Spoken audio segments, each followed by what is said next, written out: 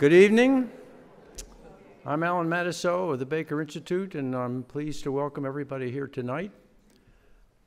I think uh, this is a, a really special occasion because it marks one of the final times that Ambassador Djerejian will be on this platform in his capacity as the founding director of the Baker Institute.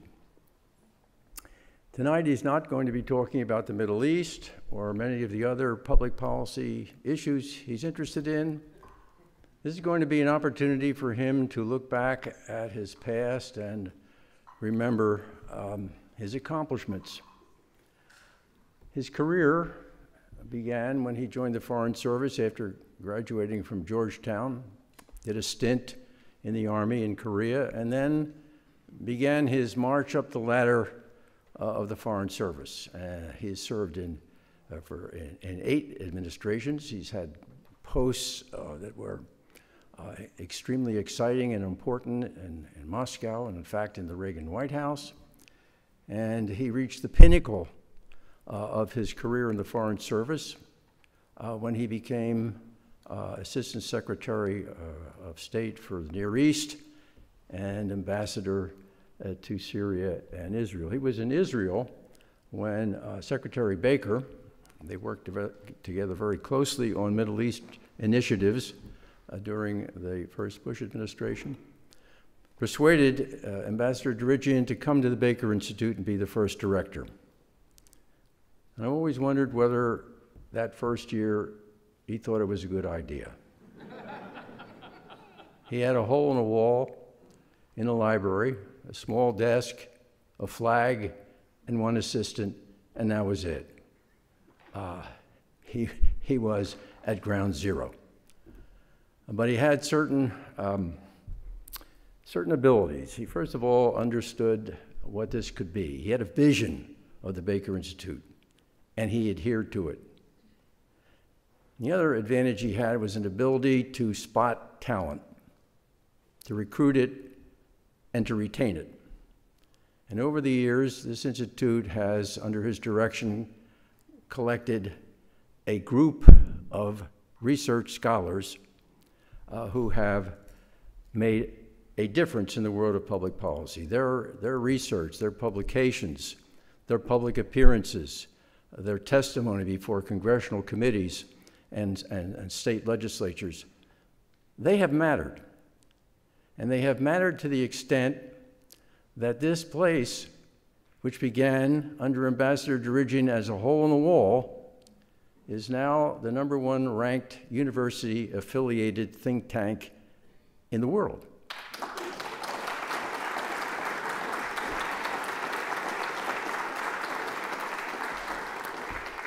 Ambassador Djerejian did that. But he did something else I'd like to mention tonight that maybe doesn't get the attention it deserves. I've been here for decades, and for many of those decades, we always referred to rice uh, inside the hedges. And that was a metaphor that meant that those hedges were a wall, and there was the outside world, and then there was rice in splendid monastic isolation. Ambassador Djerejian did that. You just have to take a walk around these walls and see the pictures of all the statesmen who have been here uh, over the years. Or take a look at our, our, our archives and see the roster of distinguished journalists and, and politicians and intellectuals who have been on this platform to talk about public issues and often have engaged with our students. Or take a look at our, our student affiliate, uh, the uh, uh, Baker Institute uh, Student Forum which has attracted a very large uh, student constituency. Many of those students do research with our, with our fellows on important projects. A number of them have benefited from our subsidies. We, pay, we, we support internships in Washington generously for students to work in the government and in NGOs, and in many times they are the occasion for the beginning of a career in public service. The Baker Institute and Ambassador Djerejian changed the culture of rice. And that, sir, is a great accomplishment.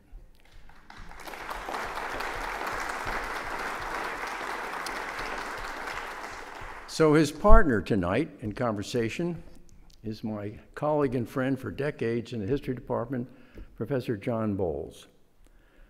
Uh, Professor Boles is a graduate of Rice University, class of 1965, got his PhD at the University of Virginia, and in 1981 he returned home to the history department, and since then, until his recent retirement, he was the exemplar of what a Rice professor should be a prize winning teacher, a scholar who wrote 12 books. Personally, I'm in awe of that. Um, and books good enough to make him one of the most distinguished scholars in his field, which is the history of the American South. He edited a leading journal. Whenever a president of a university had a tough job to do, more often than not, they asked John, and he did it. Uh, it's been a tremendous career here at Rice. And if you want to know his stature, I can just tell you this. Ambassador Djerejian could have picked anybody from the Rice faculty to be his partner here tonight. He picked John. Uh, and, um, sir, that's not bad.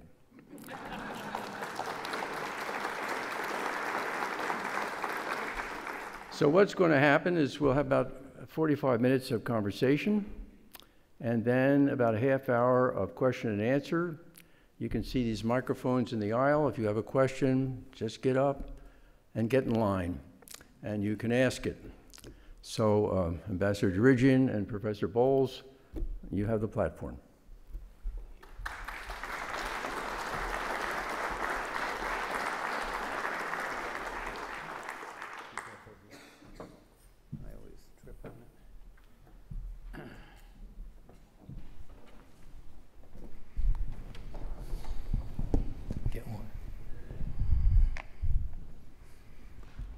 Are bright. No privacy, John. You're mic'd. Be careful what you say. I know. well, I, I, have to say how honored I feel to, both to be chosen to do, play in this role. I mean, two of the people that I most respect at Rice are on this program with me, so I feel I'm in really good company. Uh, I just want to begin by saying I remember uh, I went to a press conference in the Founders Room at Lovett Hall in uh, January of 1993. And President Rupp, who was about to leave, announced the establishment of something called the Baker Institute. And I didn't, ha- I had no idea what it would be or what it could be, and I assumed it would be primarily foreign affairs.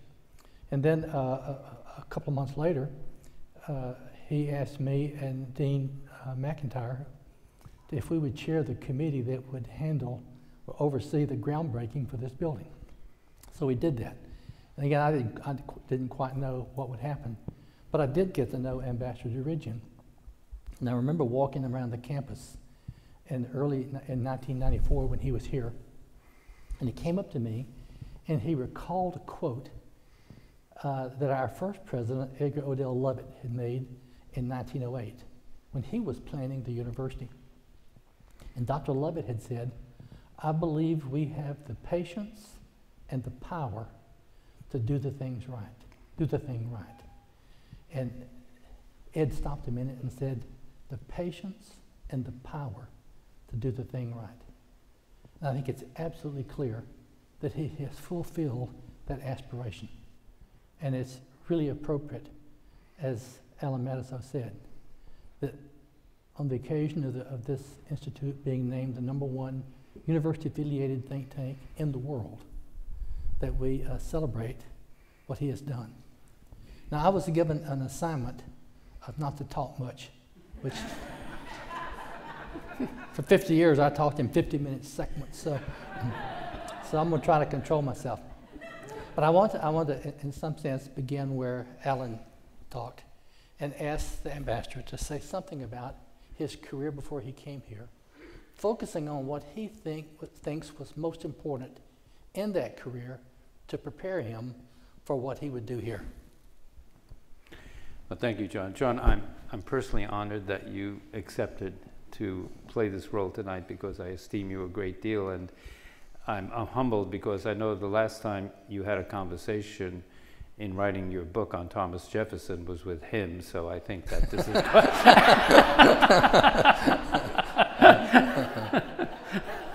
so I'm, I'm, going to his house tomorrow too. So, so I'm truly honored. I, I mean that so sincerely because I respect you so much.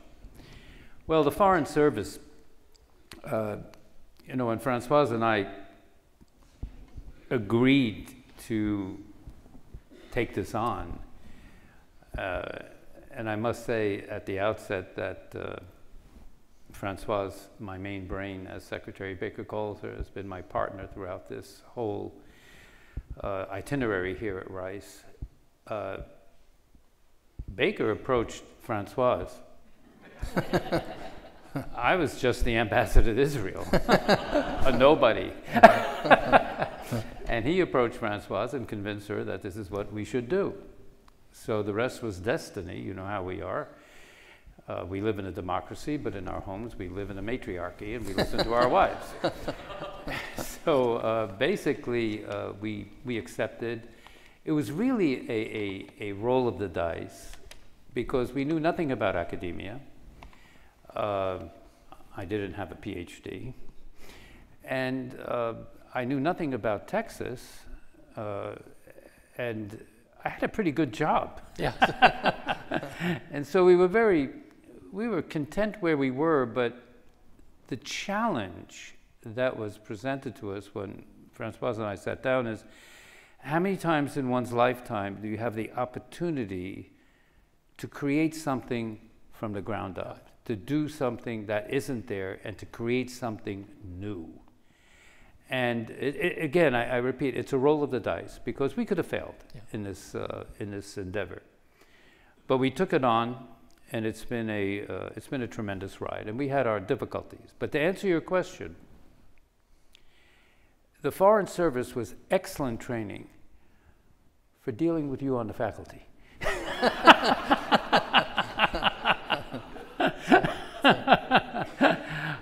Uh, in fact, I, I joke once, uh, you, several of you have heard this, but uh, I was told by you also, and by people like Allen Matusow, if you don't get the faculty on your side, you are dust in a university setting.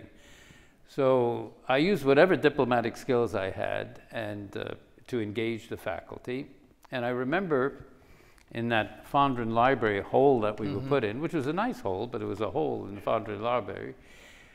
Um, I had a meeting with three very preeminent economists here in the economics department that you all know, and uh, that, well, you and Allen would know. And uh, they were driving me nuts. They were being so difficult. Y- you know, you, what are you going to do here? Uh, What are you going to take away from us? Uh, are you going to take assets away from us? Are you going to are you going to diminish the pie? And I said, no, we're going to be here to expand the pie at Rice. And I, I wasn't getting anywhere. And it's rare. I am a very patient man.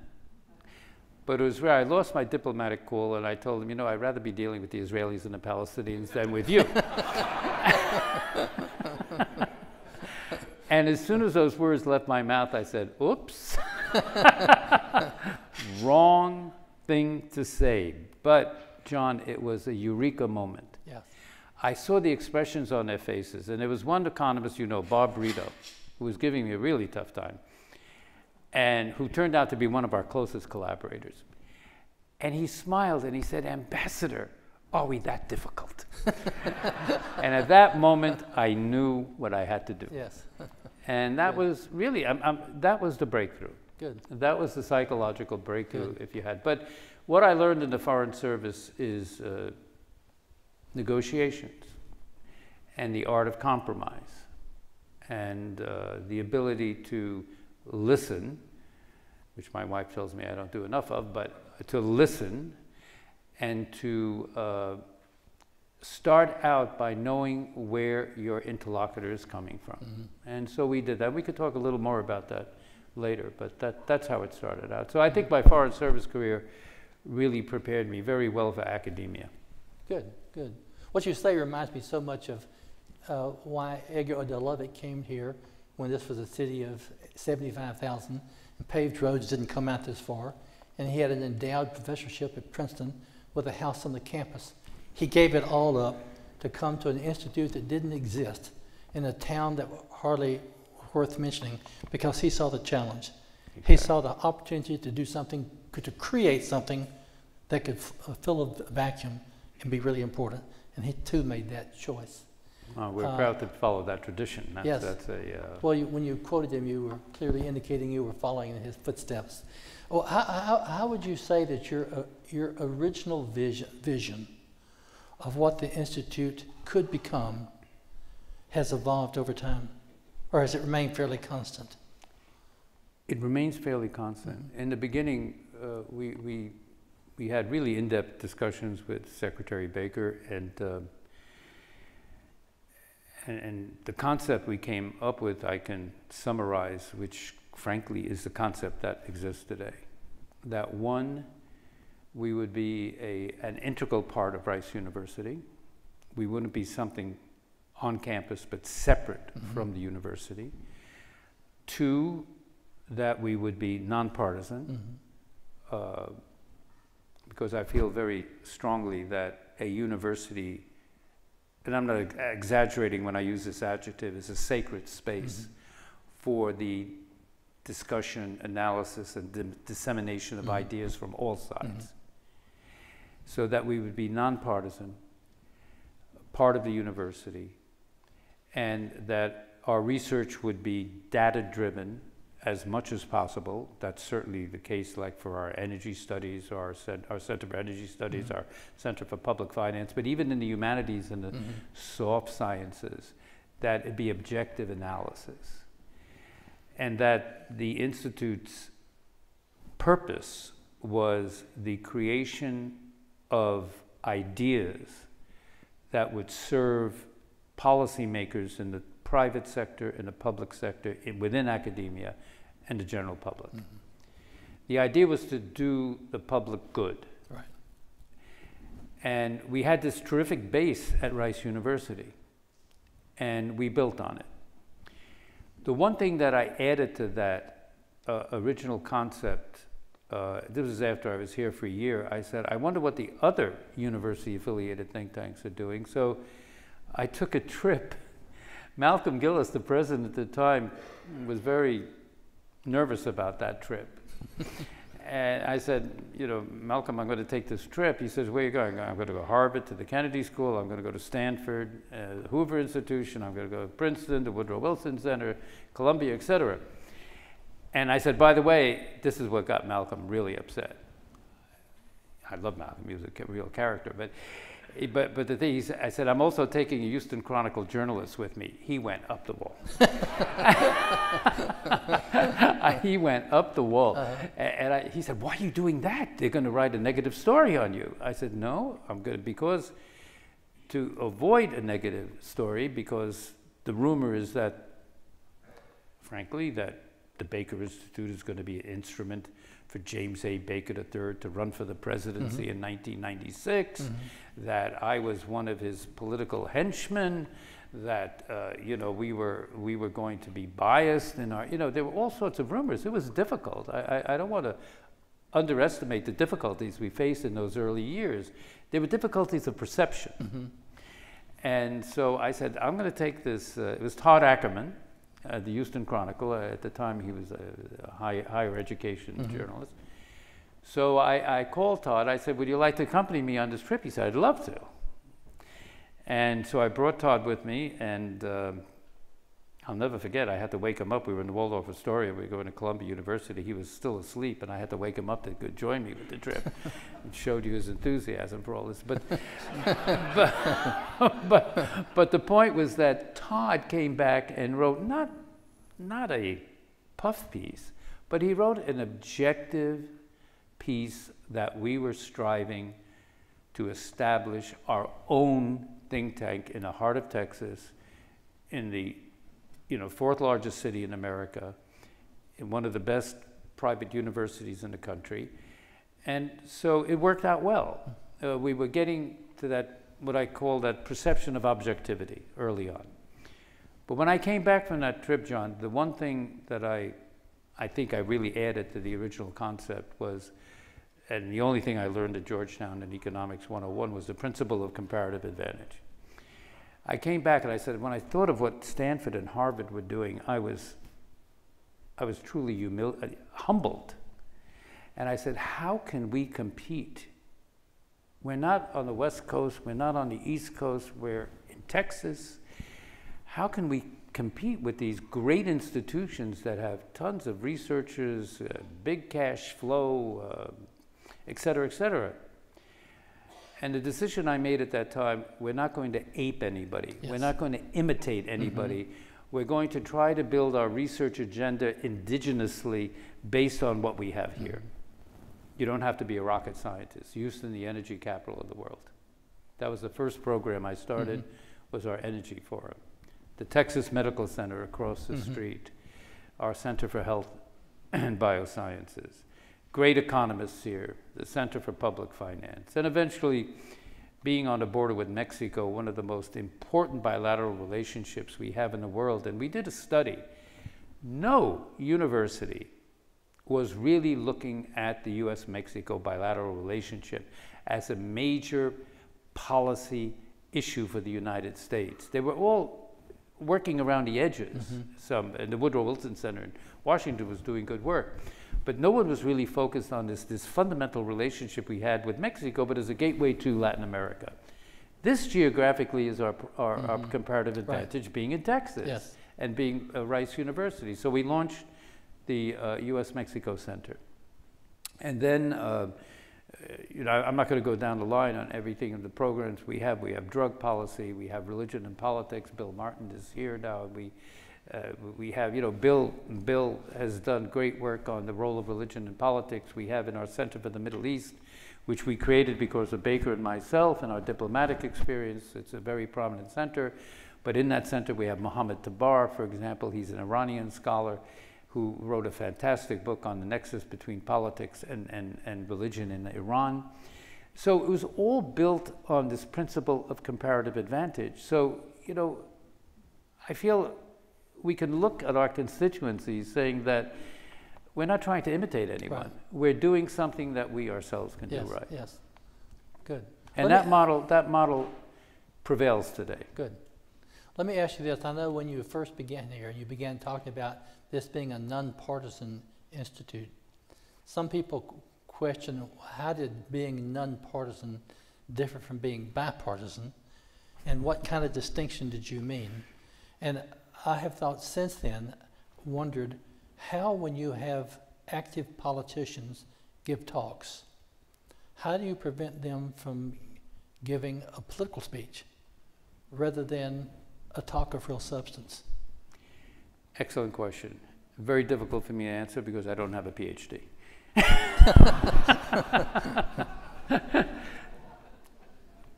but to try to answer your question, look, just two days ago we had Mike Pence here. Mm-hmm. The Institute has come to the point, I remember in the early years, we had to beg for VIPs to come mm-hmm. here. We were not known. All of a sudden, we became known. And we are getting now today more we're not inviting people, they're asking to mm-hmm, come here. Mm-hmm. And these are statesmen, presidents, prime ministers, national leaders, uh, political leaders, whatever. We got a call from Pence's office, he wants to come and talk about energy. And I knew exactly where he's coming from energy independence, which our Center for Energy Studies, which is the number one ranked Right. energy Yes, policy yes. in, in, in, in the world, uh, you know, under Ken Medlock's great uh, leadership, uh, we, uh, I said, of course, the vice, the former vice president of the United States, and if anyone questions me why I've, I've, I've accepted that, I just say, well, you know, I sat down here with Nancy Pelosi. We've had Joe Biden here. We've had John Kelly here. Don't talk to me about we are, again, I want to repeat this phrase, a sacred space for people of all political views to express themselves. Mm-hmm. Mm-hmm. Now, Pence gave a political speech. Mm-hmm. He gave a political speech. But that's okay. Because the point of the matter is that we allow everyone to come here to give, you know, th- express their views. And, and I think for universities at large, I think we have to avoid, I may be getting myself in trouble, but I'm leaving. Uh, but uh, y- y- we have to avoid political correctness. Yes. We have to avoid political correctness. You know, uh, that, that we, we have to be true to ourselves as Americans, that we are capable of Americans to listen to, absorb the ideas and positions of all sides and make up our own minds. Mm-hmm. Great. Do you, do, do you think that in today's, I guess I would say hyper-partisan age, that nonpartisan think tanks have a especially important role to play? Even more so yes. today. Yes. I think it's never been more relevant than, uh, than today. I mean, I mean, a great crisis in our country. You're the historian Yes. of the South, but the Civil War, Yeah. uh, you know, that that was the great, the, the great defining, one of the great defining moments of Uni- in United States history. But I think today we're at one of those points where partisanship is a real problem. Uh, I decry the partisanship that we see today in our society and in our government. I remember when I was working for Ronald Reagan as his deputy press secretary for foreign affairs, uh, the Gipper would invite Tip O'Neill, the Democratic Speaker of the House, to come over to the White House and have a glass of scotch with him. It Doesn't happen anymore today. We don't have leaders on both sides of the aisle that socialize, that get together, and this is really important because Tip O'Neill and Reagan were really divided on, on the issues. But the ability to talk to one another, to not see the other as an enemy, mm-hmm. but to see the other as a political opponent, but not an enemy. And you are the expert. I mean, you wrote the book on Jefferson. You know that the, the founding fathers, the art of political compromise is embedded in our Constitution, mm-hmm. the checks and balances. This is what America is about. Political compromise is not a dirty word. Right. Is not a dirty word. The art of politics is political compromise. What is bad in my mind is when you give up your principles and not compromise your principles mm-hmm. as a politician, a political mm-hmm. leader, a mm-hmm. corporate head, whatever, a profe- whatever. Don't give up on your principles, but try to find that mountain ground. We've become so partisan even in, on family lives. People, there's just a whole range of topics you can't afford to bring up in all kinds of situations. I mean, it's not just in national politics, but in interpersonal life. Partisanship prevents conversation. You, you probably won't be surprised that I would bring up a Jefferson thing here. Not at all. When Jefferson was president, two or three days a week, he would invite about 12 or 15 congressmen, senators, department heads to what was then called the man- president's mansion for dinner. And they would sit at an oval table so that no one was at the head of the table. And they would sit just pell mell. And the food would come out to him, and he would pass the food around family style. And he was a terrible speaker, but he was a sensational conversationalist. Mm. And he knew how to make quiet people speak up. He knew how to control talking to people. And he would move the conversation around. He knew everything. And everybody felt good. Everybody, they lived in boarding houses in Washington, D.C. He, was, he had French food and the best wine cellar in America. He did, yes. And he, and they, he realized that he said, if people come together, even if they hate each other, if they have a pleasant conversation, they begin to understand each other's issues. They begin to understand the things that motivate them. And out of that kind of conversation, positive compromise can take place. Absolutely. And you feel that's what he was doing in 1803, 1803. Exactly. And we've lost that ability. And we've lost that. And, and that, that is so pertinent, what you just said about Jefferson. And one of my mentors, I've been blessed to have a few great mentors. And my greatest mentor in the Foreign Service was George W. Ball, who was the Deputy Secretary of State during the Kennedy and LBJ administrations. And, uh, and that, by the way, is how old I am. I started out in the, in the JFK administration. Certain, you've all heard this. I say I'm so old I can remember the Dead Sea when it was only thick. but, but, but, but, but, but the point is that one of my mentors was a, an esteemed diplomat by the name of Raymond Hare. And I asked him what I said, Mr. Ambassador, what is diplomacy? And he said, uh, Ed, diplomacy is the art of listening. Coming back to Jefferson, he said, You must master your interlocutor's brief as well as he or she knows it. You have to understand what his interests are. You have to convey in the conversation that you know where he is coming from. Mm-hmm. And immediately you are beginning to captivate your interlocutor because he be, he's perceiving that you understand what his issues are. And once you've established that psychological connection, you start discussing the issues between you. And then you determine whether or not there's any common ground. If there is common ground, you start building on it. If there is no common ground, you have to take the consequences and decide what you're going to do, either stalemate or war, for mm-hmm. example. Mm-hmm. But this is the art of diplomacy, and that's what Jefferson, you know, this, this is the art that we are losing, John. This is the art of listening to the other. We are all in this mode of confirmation bias, especially with social media. Eh, Either someone's watching Fox News or CNN, or even more relevant, on the iPhone, you know, uh, plugging in t- to their confirmation bias, plugging Yeah. into to, to programs with people that confirm their own biases. And we're not talking to one another. And we're not reading anymore.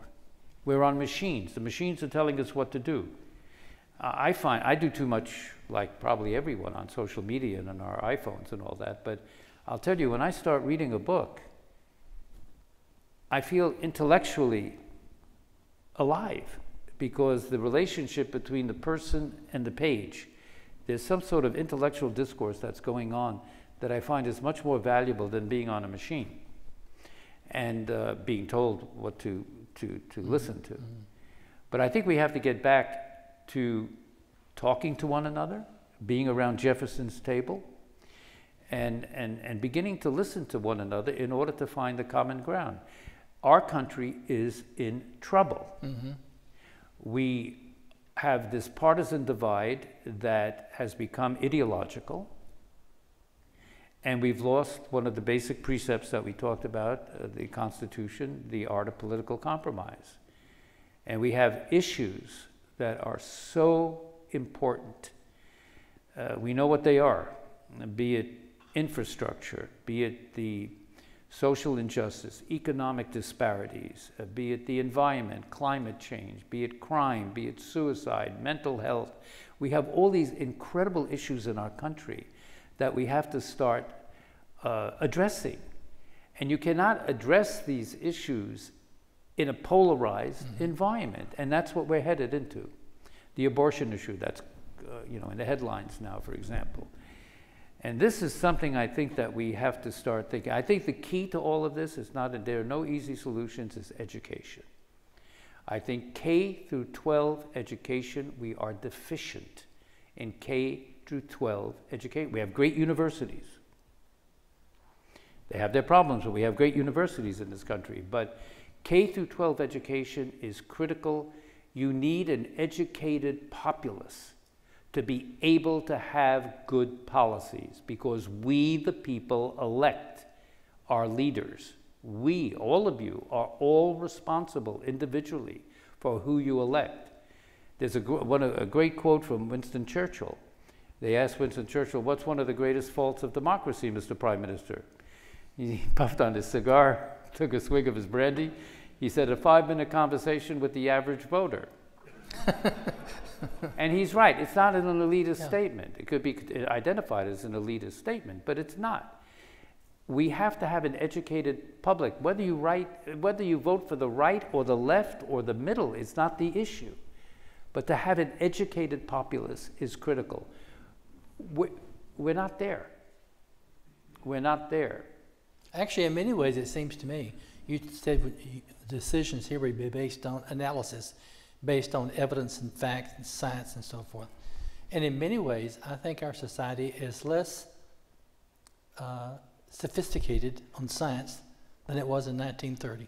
Hmm. I mean, the percentage of Americans who don't believe in evolution is higher now than it was in 1940. That's amazing. And uh, you had a, I think it's so important, and I know you believe this, that uh, politicians and diplomats and ambassadors uh, know something about the history and the culture and the politics of the world they're dealing with.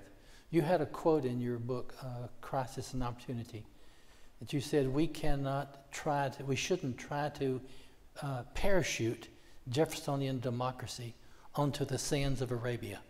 And I think that you, you then go on and say we need to we need to deeply understand the culture and the politics and the religion and so forth, not just of the Middle East, but of Mexico and every place else. Exactly. And uh, that's one of the things that this institute has tried to emphasize: that we need knowledge-based, scientific-based, medically-based decision making. Absolutely. And, and we've, we've, we've made some serious foreign policy miscalculations. That analogy of, a, uh, I thought that would appeal to you. I didn't know you at the time. Yeah. well, I did know Yeah, you at yeah. the time. No, I did know you at Yeah. the time. But, but you know, parachuting in a Jeffersonian amount of, that, that's been something that's bothered me a great deal in my diplomatic career, Mhm. is this hubris, this American hubris that uh, we can somehow impose our form of democracy Mhm. on other countries. It's, it's ridiculous. Right. Right. The best way for America, in my humble view, to promote democracy is by setting the example of what we do here at home. If we want to be the shining city on the hill, we have to show that we are a shining right, city on the hill. Right. And that, And, and I was just talking to Steve Lewis, one of our eminent scholars on China. I said the best way to compete strategically with China is to get our act together in terms of infrastructure, technology, you know, narrowing the social injustices of our society, getting our debt under control, this K through 12 education, getting the government to start R&D funding like in the old days that Neal Lane has been, Right, you know, right, mhm. proselytizing for here at the institute. This is where America can become truly an example, and this is the way to ri to compete and not get into a situation where we look upon the Russias of the world or the Chinas of the world as adversaries that we have to meet with kinetic force. Mm-hmm. Th- This is ridiculous, the path we're going on. But if we have to get our act together in America, and we can do it, I, I find, and I think you'll agree with me, you're the scholar in American history, but one of the, and I hope I'm not wrong on this, but I think America has proven that it can repair itself. We mm-hmm. make a lot of mistakes, but we've had this ability to repair ourselves, stumbling like fools, but we finally get it right. And I hope we haven't lost that. well, yeah. See, my, one of my major concerns that we have, I think we've we've lost faith in the very fundamental institution of elections. And if people will deny the fairness and integrity of elections, how do we ever recover that? I remember back in 2005, I think the Baker Institute was involved in that Carter Baker uh, yes. Commission. I remember yes. them talking here. Uh, I think that's one of the critical issues of our time. And I, do you have any uh, prescription to how we, ha we have we have an age now in which people deny? I mean, seven, 40% of people don't believe that Biden was elected president, although there's no hard evidence of significant fraud. How do we as a nation solve that kind of disconnect? I mean, we have to be able to trust elections. That's the key to democracy. Absolutely. Well, you know, that's one of the reasons that uh, Secretary Baker asked me at one point uh, about four or five years ago. He said, uh, you know, he ran five presidential campaigns, and so he knows what he's talking about. And uh, he asked me, he said, what other think tanks are dealing with presidential elections? I, said, I'm sure there are, and I, but we did a survey. None. Uh, So many think tanks and universities deal with aspects of the US presidency, as you know Mhm. but no one was focused on presidential elections. So we started this program that's proven to be quite successful now on presidential Mhm, elections. It's one, mhm. one of our major programs. And we get together, the right and the left. Uh, you know, our first program, uh, uh, we had Karl Rove and David Right, Axelrod yes, as yes. co-chairing it, for Mhm. example. And we're delving into all the issues that you, you've mentioned. I don't have an answer for your question Mhm. because it's complicated, but uh, the Carter Baker proposal was a good start. Mhm. And, and they did, you know, Carter got in a lot of trouble for that because they, they did advocate for voter ID cards. And that's a political issue, Mhm. maybe you could say, but, but that's just one aspect of it. But the point of the matter is that we are looking into this a- at a time when it has become, we, we didn't know when we started the presidential elections program that this would be the issue that you've just mentioned Yes, now. yes. So that we are addressing, and Mhm. it's, uh, we have to gain confidence in our electoral, Mhm. electoral process. But I think gerrymandering is Yes. a key issue. Yes, Gerrymandering is a, a very key issue. yes, I agree. I'm embarrassed to look at my, my watch, but I, we have a schedule. I always feel people look at their watch, people say they're bored. I'm not bored. I'm just worried you Go, about go, go ahead, go ahead. Allen Matusow's going to fuss at me because he went past uh, our line. No, that's Let- right. Let me ask you If this. people are bored, they can leave, I mean. Let me ask you this question. Uh, this is a, a university-affiliated think tank. Can you say more about how you feel that such a think tank should be integrated into the, the undergraduate and graduate student life? And what, what ideally are the contributions to the student experience? This, I mean, I, I know I've come to these breakfasts where you have, I mean, I've sat at tables with the French ambassador and undergraduates. And I think that's a wonderful experience. Yeah. But can you say more about the, the, the, the university-related aspects of the Baker Institute? When we first got here, uh, you know, being a, a graduate of Georgetown, the Foreign Service School, whoever went to Georgetown was interested in public Right, yes, policy. Yeah, So when I got to Rice, I was really disappointed. I found very little interest in the student body that I could detect in public policy. They're very bright students at Rice, you know how hard it is to get Yeah. into the university, and uh, they were all so driven by their, their heavy curricula, their Mhm. minors, majors. And I said, well, we got a problem here. There's very little interest in the student body in public policy. And, and to me, this was my life. And uh, I said, we've got to inculcate into the students that when you leave these hedges, even if you're a chemical engineer, an electronic engineer, a physicist, a computer engineer, to see nothing about the humanities Yes. and, the social sciences, which is more relevant to public policy as we know it, you are going to be walking into a political context in your life, even as a scientist, Mhm. and as we know that, you know. So we had to work on that, and we worked on it. It took it, it took several years. It took several years. So I was given it wasn't our idea, but one day, five Rice students. The kids were dressed in suits, and the ladies, the young ladies, were dressed in. They came not not in student outfits. They Mhm. came dressed, and they said, "Ambassador, we would like your support in establishing the Baker Institute Student Forum." It was music to my ears. it was music to my Uh-huh. ears, and it was indigenous. It Yes. came. It came from Right. the students. So we started that program. And I'll tell you, if any of you have not, well, I know many of you have not, if you ever had the opportunity to attend the Baker Institute Student Forum Conservative Club and Liberal Club de- presidential debates, they're more edifying than the debates in Washington. and these kids really do their homework. I've been so impressed by the manner in which they, they mastered their brief on the right and the left and they engaged. We've come a long way, John.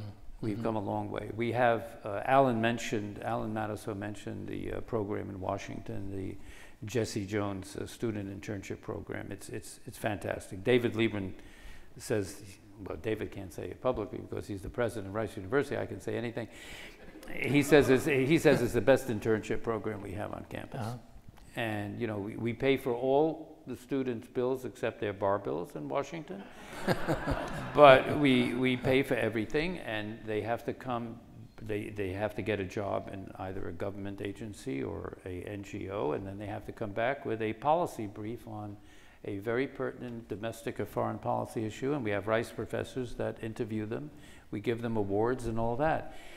Uh, we, we started a Master of uh, Global Affairs program, which, uh, there you go. One of our bright students is right Yes. there. And uh, it was, it was, we didn't know if it would succeed. You know, Allen can tell you, we were, it was iffy. It's blossomed.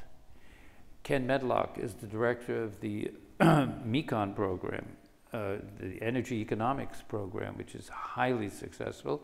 And we even have a master's program on, on uh, health and biosciences. So we are truly integrated now. All, almost all of my fellows teach a course at Rice. So we are totally integrated into the educational mission of Rice University. But I'm going to tell you a secret. Secretary Baker and I discussed this at the beginning, and when I came back from uh, Stanford in 1995, and I saw the guerrilla warfare between the faculty at Stanford and the Hoover Institution. Guerrilla warfare. Mm-hmm. And I told, I, we gotta, we gotta avoid this at Rice. So we decided very deliberately, you talk about patience. Yes. And one of my favorite phases that I use with our kids, strategic patience. I have a very impulsive family, but I keep telling them strategic patience. We waited until we started doing these things I mentioned, and then we launched into the educational mission of Rice in order not to get pushback. And it worked. So we are, I can say, we are fully integrated with the ed- educational mission of Rice, and that's very important.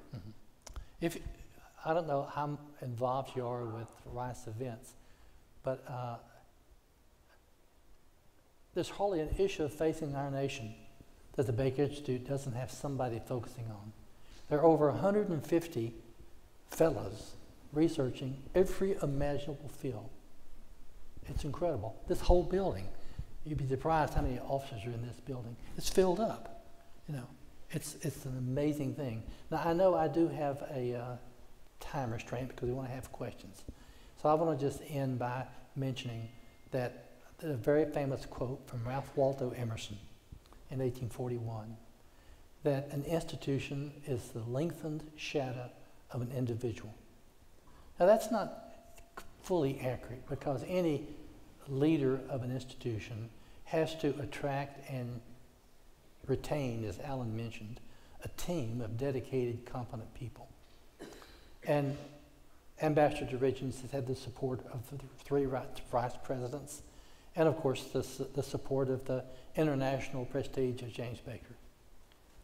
But his contribution to taking that sort of idea of a nonpartisan public policy institute that no one here quite could imagine what it could be. And in 28 years, he has built the number one such institute in the world. It's an amazing contribution, and we are here to honor your 28 years at Thank you, Rice. Joe. All right. Thank you, Joe. So, yes.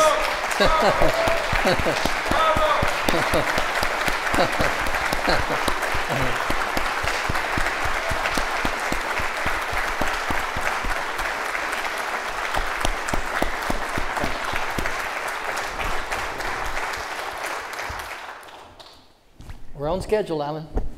Uh, Now we have, we have 30 minutes for questions, and there, there's a microphone there and a microphone there. So if you have a question, uh, give us your name, ask a question, don't make a speech, and uh, Ambassador Djerejian will give you a precise answer. If I can. Yes, I guess so. Um, Thank you for your remarks. Um, Interesting as always. Uh, You alluded to my original question, which, having dealt with uh, diplomacy with uh, Israel, the former uh, Assad, and, um, and areas around there, as well as uh, university politics, uh, which was the most challenging, and you very diplomatically did not say. But uh, as an alumnus, I want to say that establishing a place where um, I could come in for a Middle East program, uh, sit down to have breakfast, and discover um, uh, Ambassador Sherman, who would later give the lunchtime talk on the Iranian uh, presentation. Just at breakfast or um, sit next to people with Washington Post bylines that I recommend, uh, that I recall. Um, it's such a um, great thing for Rice and for Houston.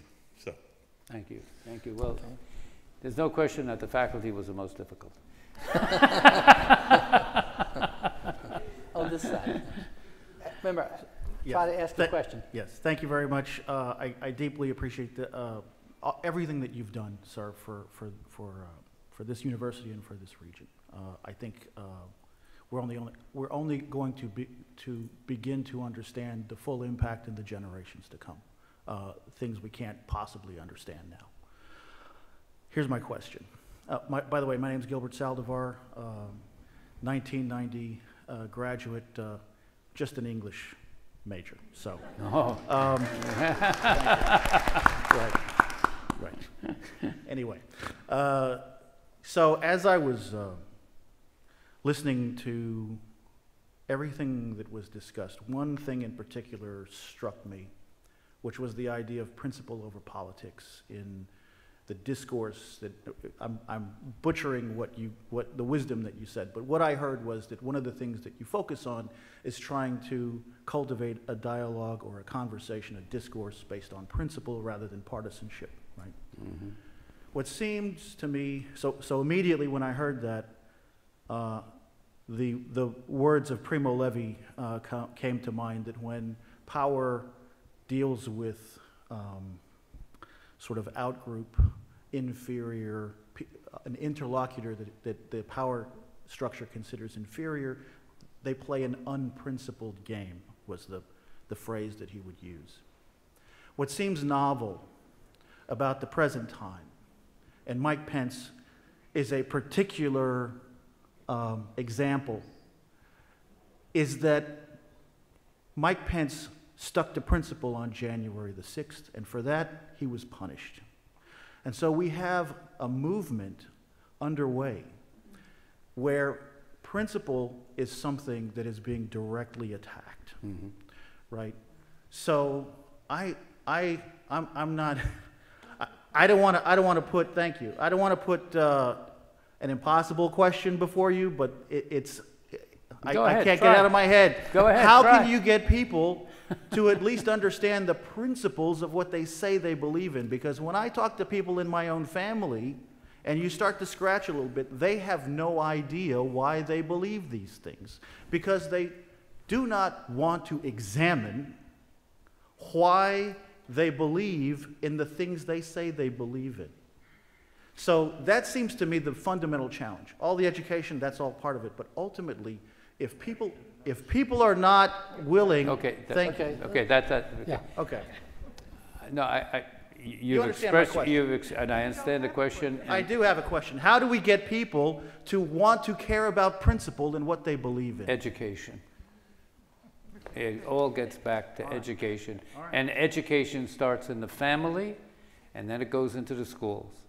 And the only way you're going to get a citizenry that acts with principle uh, is through that. That's, that's the answer to that. And, and what you said about Mike Pence, no matter what you think about Mike Pence, if you're Democrat, Republican, whatever, he did make that very courageous decision to certify the vote that Biden was president of the United States.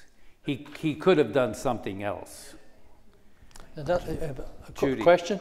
Quick question. So one of the things that hasn't come up yet, and good to see you. Um, Just one? just just one question, Jay. I promise.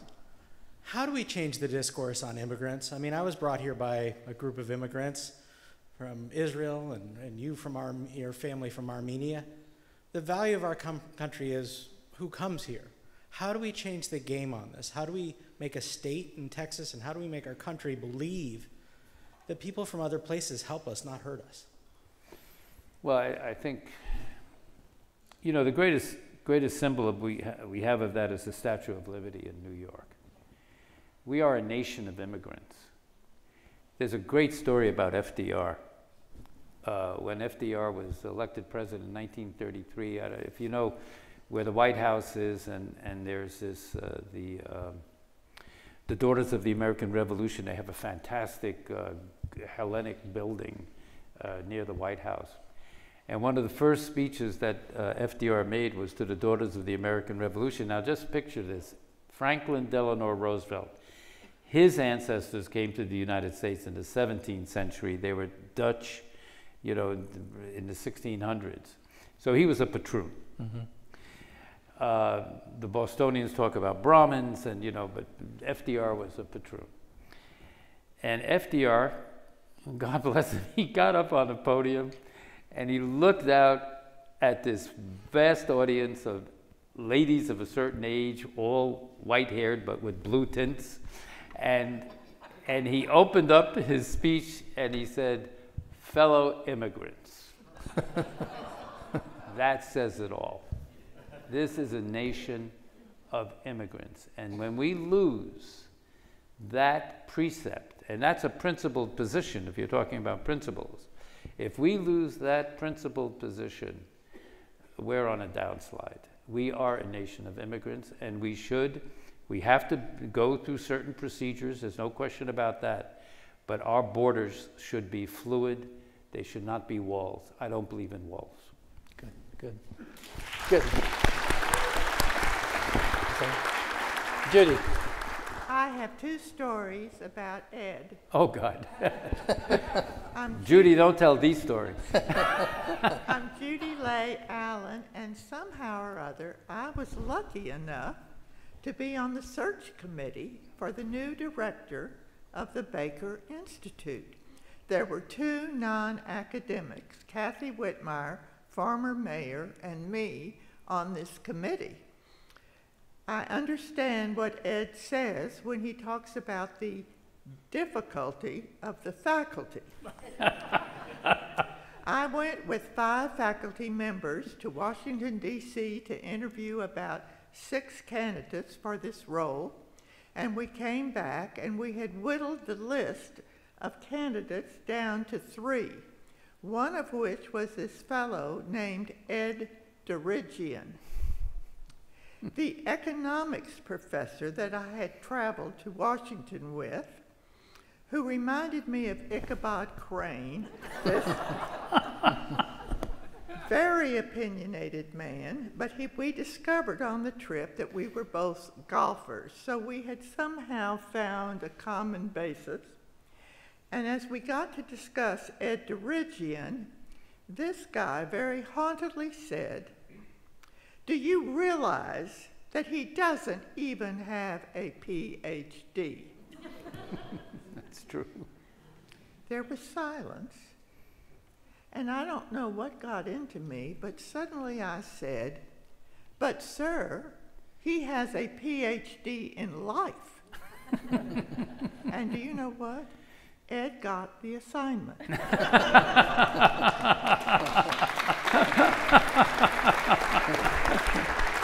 I don't know how much that had to do with it, but it did help sway the opinion. So I felt obligated to take Ed and Françoise to lunch as soon as they were established in Houston to just welcome them to the community. Ed has always had a great ability to delegate. And I opened my mouth and said, Now you all realize that most of the organizations, nonprofit, you know, whatever, educational, have sort of a, a, a group of people that form together to support them, like the Ballet Point something or other, the Museum of Fine Arts, connoisseurs, the whatever. It's a group of people that pay money to support the organization. And he said, What a wonderful idea. And Judy, you're in charge. Never open your mouth. but that was the beginning of the Baker Institute support system, The round table. the round table. Yeah. And if any of you here tonight don't belong, please consider it. It's, it's twelve hundred dollars. And you get to come to all these wonderful things at the Baker Institute, the talks, both sides of the aisle, etc. Ed and Françoise, we're gonna miss you. Thank you, Judy. Thank you very much. Frank lecture, I, um I'll be short. Uh, You're never sure. no, I am, I am a bit short. Uh, I agree with your, uh, uh, you brought up the K1 through 12 is Yes. really is in a big shamble. And I believe it was instituted by uh, President Woodrow Wilson right after World War I, who, is, who passed an executive order that all Americans must have a high school degree. So we had to lower our education level so that a, one has to graduate even though may not make it through ninth grade. And his idea was a carpenter is not going to become a scientist, but it's okay to have 12 degree, I mean 12, uh, I mean have a high school degree. But did that slow down the teaching process so that the ones who could not catch up with the smarter ones and, and uh, uh, that way you really had to lower that standard of education. And the other one, could you please explain what does think tank mean? And I'm very honest, I read about it, dictionary everywhere. Think tank, what does it mean? Uh, does it mean we support our policies, whether right or wrong, because we defend good things that we do, which is great, but then we really veer off completely uh, about bad things the U.S. doing around the world. Let me answer your Thank you. question. Let me answer your question. A think tank is not a repetitive voice for existing policies. A think tank is an objective uh, forum to analyze existing policies and policies that could be, which means strategy looking forward. And therefore, we, when I talk about data-driven research, that's what I'm talking about. We, uh, we question authority, we question power, uh, but we do it on a nonpartisan basis and data-driven research. And therefore, we translate. One of the most important offices in the Baker Institute is little known. It's our editorial office. And what do I mean by that? The, our editorial office, just a few people, they translate the, the, the scholarly academic work of our brilliant fellows and scholars into language that executives in C-suite and corporations can understand, that policymakers in Washington can understand, the general public can understand. So our idea is, is to be a critical voice on policies and, and to, to enlarge the debate. We have. That's what we do. That's our existence. Sir, uh, shortly after the founding here, I was privileged to attend a, a small meeting, and you made a very prescient remark. You said to the audience, you should be aware that the leaders in the Middle East are no longer sending their sons to the London School, to Stanford, and to Harvard, and you said they're sending them to the religious schools and the madrasas. And that turned out to be amazingly prescient. Do you have any similar observation about what's going on in that region today that might set the arc for the next few years? Well, the dynamics and change, that's a whole, we could spend about five hours here. The, the dynamics of change in the Middle East now are, uh, are, are, are, are evident. Uh, a lot is changing in the Middle East now. And uh, many of the leaders of the Middle East have, have gone to schools in London and here in the United States and in France and elsewhere. But many, many go to religious schools. And, uh, and th- they're, there's a problem of religious extremism in the Middle East, but there's also a problem of religious extremism in the West. You know, we have this, uh, uh, this concept that, you know, the problems are all over there, but we have to look into ourselves also. Religious extremism uh, exists uh, everywhere. Uh, you know, uh, someone in this audience wrote a book, God on My Side. It has nothing to do about Islam, it has to do about Christianity. So, what's important is the, I'm, I'm putting myself on the line here, but I believe that the combination of religion and politics is toxic. Religion, one of the great things, correct me if I'm wrong, John, you know, our founding fathers is the freedom of religion. Mm-hmm. The freedom of religion. But the separation of church and state, or mosque and state, or synagogue and state. That's fundamental in our body politic since the beginning. But when you get the infusion of religion and politics, which we see in our country, you see in the Middle East, you see in Asia and other parts of the world, it's toxic. And I, I don't see any good coming out of that. So, what, what is important is to maintain the separation. Uh, I'm a religious person uh, individually, uh, but uh, my politics is entirely different than my religion. I don't know if I answered your question, but I, th- I think I, I tried to. I'm often struck by how amazingly difficult it is for people, all of us, to, in some sense, uh, widen our own perspective. About 20 years ago, I was sent with a group of people to talk to talk to uh, German Texans in the German Historical Society in a town in sort of central Texas. And the teachers, the people there at this meeting were all of German ancestry. And they were reminiscing about how terrible it was back in the 30s and 40s when they spoke German at home. When they went to school, the teachers punished them for speaking German. And they thought it was just horrible.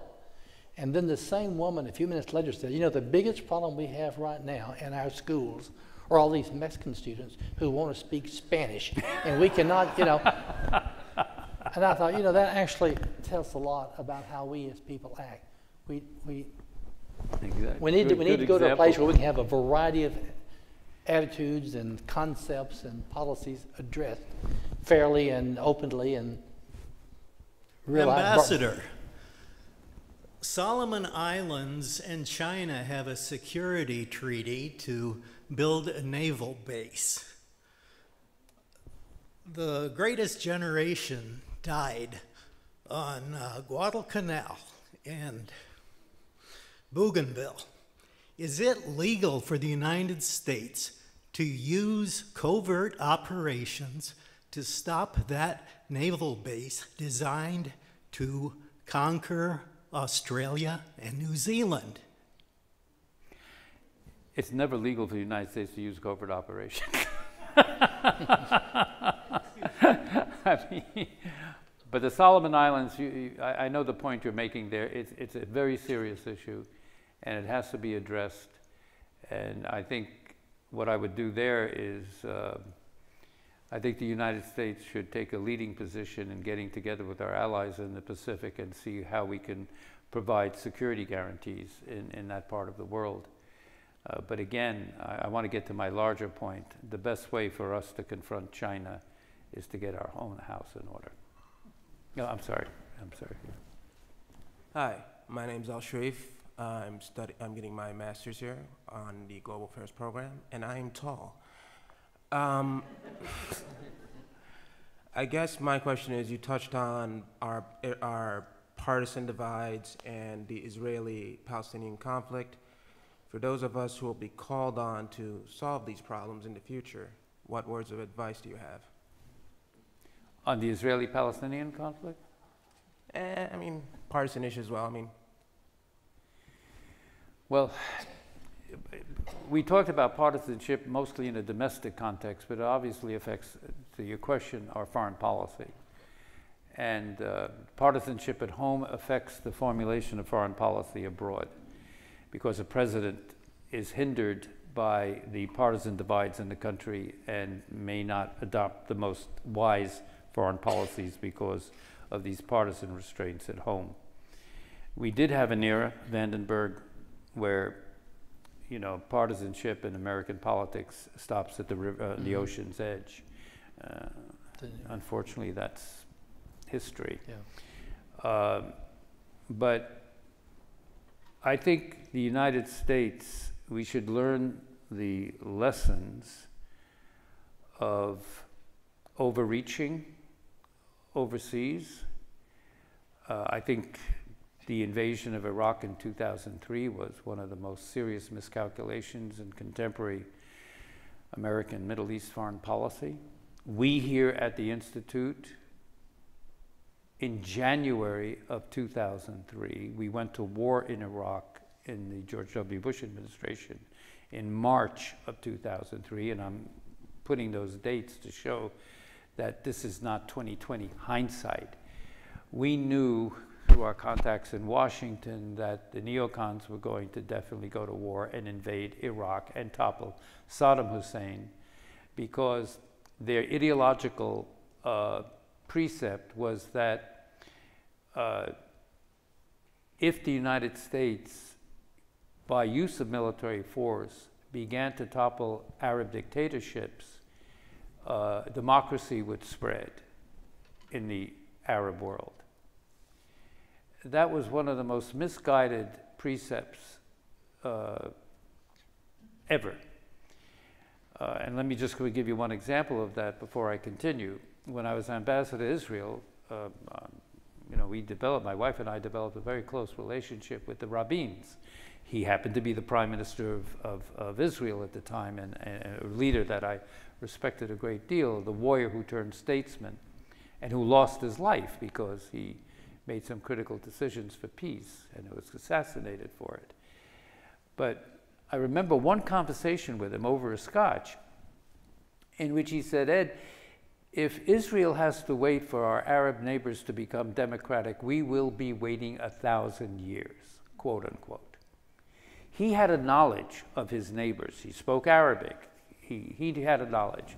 And we in Washington, elite foreign policy groups, in this case on the right, uh, sitting in their comfortable offices in Washington and dictating their ideological perceptions on a world that they did not understand. In fact, and I knew, I know these people, I've worked with them, the neocons. Uh, they were my colleagues professionally. I knew where they were coming from. Uh, they, they felt that by doing this, there would be a domino theory. Saddam Hussein would fall, and then democracy would start spreading in, throughout the Arab world. A, a very false concept. But they also thought by so doing, they would be protecting Israel more because Israel would be surrounded by Arab democracies and not by Arab autocrats. This is really, a lot of people don't understand this. This is really what was behind the war in 2003. Now, just picture this the Prime Minister of Israel, who's responsible for the security of the state of Israel, and our folk in Washington, who are dictating a policy that was really based not a, what we call at the Baker Institute, data driven research. In January, uh, with my colleague in the CFR in uh, New York, uh, Frank Wisner, we did a joint report, Baker Institute CFR report, post-conflict, guidelines for post-conflict Iraq, because we knew we were going to go to war. We didn't know when it would happen, it happened right away. Three things in that report that we went to Washington and we peddled to Donald Rumsfeld, Paul Wolfowitz, all the, all the, one, by U.S. military might, we will prevail militarily to unseat the regime in Baghdad. That's a given. But the real challenge will be in the post conflict stage. Recommendation number one do not dismantle the Iraqi military. Get rid of the top generals close to Saddam. But if we dismantle the Iraqi military, the United States military forces will have to secure the country Do we want to do that? Recommendation number two is based on my experience as ambassador to Syria. Syria, there were two Ba'ath parties, Arab socialist parties. They're called the Arab Ba'ath parties. One was in Syria under Hafiz al-Assad. The other one was in Iraq under Saddam Hussein. Our recommendation on that was do not dismantle the Ba'ath party. Get rid of the goons at the top. But if we dismantle the Ba'ath party, the United States is going to have to assume civil order, sanitation, running water, electric grids, all that. Do we have the capacity to do that? And then Colin Powell, a dear friend of ours who was Secretary of State, called me and he said, Ed, I know you uh, and the CFR are doing this report. Can you do an addendum, an annex on Iraq's uh, uh, petroleum capacities for Iraq's oil to pay for the, the reconstruction of Iraq after the war? So our bright, you know, Center for Energy Studies people here, they did a report. We came with two kind. It would need massive foreign direct investment to restructure Iraq's very damaged infrastructure under Saddam, uh, petroleum infrastructure. And it would take at least five years for Iraq oil to produce enough to start paying for reconstruction costs. I personally peddled these ideas in Washington. They didn't listen. And all those things I said, they did the reverse. Now, that's one of the frustrating things about being in a think tank. You can advise, but you don't decide. And I've been on both sides of the fence. I've been in the decider role in government, and I've been in the advisory role at the Baker Institute. So one should not have any illusions when you're in a think tank, but you make your best effort to get the best ideas across, and then you have to make the outreach to get to the decision makers. Sometimes you you're successful, and sometimes you're not. I regret to say that we have met our time limit. I realize there are still questions that want to be, could be asked. In fact, we could stay here for three hours and still have questions to be asked. But I think you get a sense from what you've heard tonight of the wisdom and the uh, leadership and the insights of Ed Djerejian and you can see through his performance tonight precisely how he's able to been able to take this vague idea announced in January 1993 and turn it into a wonderful institution that serves this nation and serves this university. We owe him a great debt. Thank you very much.